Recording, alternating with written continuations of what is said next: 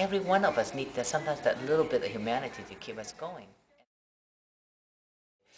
We have these flowers, we have these sculptures, we want to do some kind of awareness. I have my dog, which I have to walk every day. Dog tend to kind of expose you to more people. So that's kind of how the communication started. I want to say also is, okay, sometimes people ask me, why do you help these homeless people?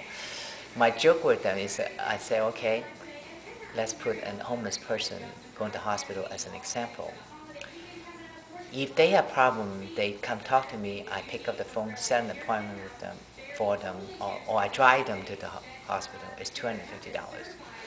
If they call the ambulance, stumble into there, it's two thousand five hundred dollars. Okay, right there, it helps every one of us. We we save so so much energy, not just dollar and cents. After we learned it here for the last two and a half years, we decide to kind of duplicate what we do in a bigger scale. And so we're starting a food program in Olathe. We're trying to work with their churches there and group it together. Um, uh, uh, I make some contact with the different churches and the people that are involved with the church.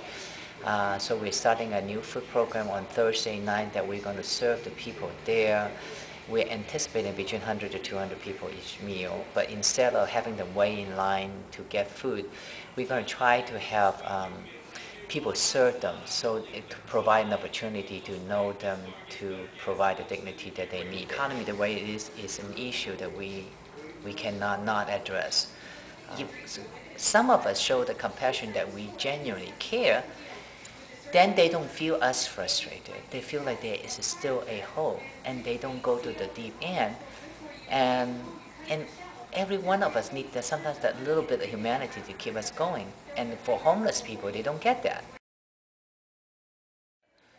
Um, so I have a lot of different crazy ideas and goals that I'm trying We're to We're trying there. to create a program that, um, that we can help the inner city kids to do, spend more time to exercise not necessarily footballs and stuff like that because we want them to be more academically um, involved. So we are trying to think of maybe doing exercise as disciplined because if you learn the discipline, then you'll be disciplined in everything else. So the, that's something that we're working towards as well. So we can have the whole community work together. Achieving the goal as a community involvement instead of just a few of us that think that we should help. And I think that's really, really important. Every one of us needs sometimes that little bit of humanity to keep us going. I'm talking too much now.